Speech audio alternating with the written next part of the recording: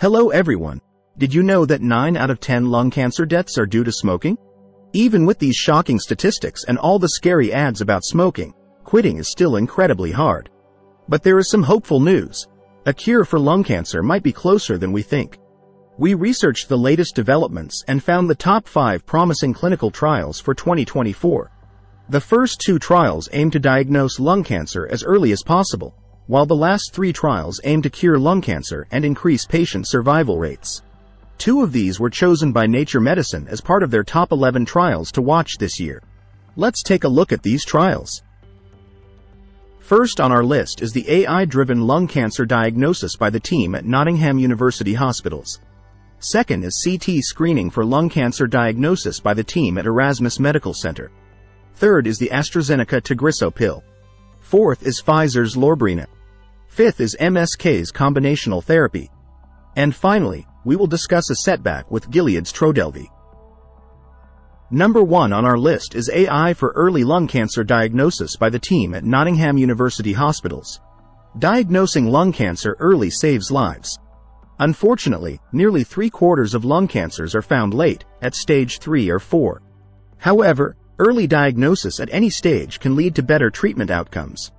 A chest x-ray is usually the first test to indicate lung cancer, and if promptly followed by a CT scan, it can accelerate the diagnosis process. An ongoing trial involving 150,000 patients across six UK hospitals is investigating whether AI can expedite this process. The aim is to determine if AI can speed up chest x-ray results, leading to faster CT scans and diagnoses. Previous research showed that immediate reporting of chest x-rays by radiographers nearly halved the diagnosis time from 63 days to 32 days. In the current study, AI analysis is being applied to chest x-rays for patients referred from primary care. Recruitment for the trial will conclude in July 2024, with results expected later that year. The hypothesis is that AI could identify lung cancer sooner and reduce diagnosis time by up to 50%. AI is already in use in hospitals, but its clinical impacts require careful analysis. If the trial demonstrates significant improvements, it could lead to the immediate inclusion of AI on the standard chest X-ray procedure. Number 2 on our list is CT screening for lung cancer by the team at Erasmus Medical Center, Netherlands. Two large studies found that CT scans can lower deaths from lung cancer. Smaller studies showed similar results. But starting lung cancer screening may be slow and inconsistent. This is partly because 9 out of 10 initial CT scans show no cancer. The 4 in the lung run trial will check if screening every two years works as well as yearly tests for people with clear first scans. This trial will screen 26,000 people in six European countries. If lung cancer screening is done well, many people could benefit quickly. This would also reduce harm and lower healthcare costs. Number 3 on our list is AstraZeneca's Tagrisso pill. A daily pill from AstraZeneca has shown promising results in reducing deaths by half among early-stage lung cancer patients who had surgery. The clinical trial results were presented on June 2, 2024, at the American Society of Clinical Oncology's meeting in Chicago and published in the New England Journal of Medicine. Dr. Roy Herbst, the principal investigator, stated this is the first proof that a targeted treatment impacts survival in early-stage lung cancer. The drug, osimertinib, Tagrisso, targets a specific receptor that promotes cancer growth. Herbst mentioned, we're really showing progress in lung cancer like never before.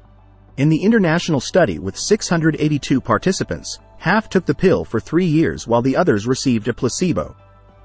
After five years, 88% of those on the pill were alive compared to 78% in the placebo group.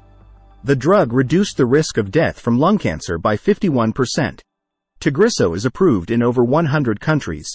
Initially approved in 2015 for advanced lung cancer, it got approval in 2020 for early stage disease. The trial included patients with stages 1, 2, and 3 non-small cell lung cancer with a mutation in the EGFR receptor. This mutation can cause excessive cell division leading to cancer, and the pill works by switching off this receptor. The trial was funded by AstraZeneca and included participants from over 20 countries. Number 4 on our list is Pfizer's Lorbrena pill. Pfizer's lung cancer drug Lorbrena can extend life for patients with a rare form of the disease much longer than other drugs, according to new research. Lorbrena treats a type of non-small cell lung cancer with a genetic mutation called ALK. Non-small cell lung cancers make up about 85% of lung cancer cases, and ALK-positive cancers are about 4% of these cases, affecting over 70,000 people each year. This cancer often occurs in younger patients who are non-smokers. It is particularly deadly because ALK-positive lung cancers spread to the brain easily. About 25% of patients develop brain metastasis within two years of diagnosis. There is one thing to note. The drug Lorbrena was compared to, called crizotinib, is not used anymore in the US, according to Dr. Julie Gralow, who is a top doctor at the American Society of Clinical Oncology. Both Lorbrena and crizotinib belong to a group of drugs called tyrosine kinase inhibitors, which fight tumor cells similarly. Crizotinib is an older, first-generation drug, while Lorbrena, lorlatinib, is a newer, third-generation version. Doctors typically use Lorbrena along with two other second-generation drugs, brigatinib, Alunbrig by Takeda, and alectinib, Alecensa by Genentech, as the standard treatment for ALK-positive lung cancers. Number 5 on our list is MSK's combinational therapy.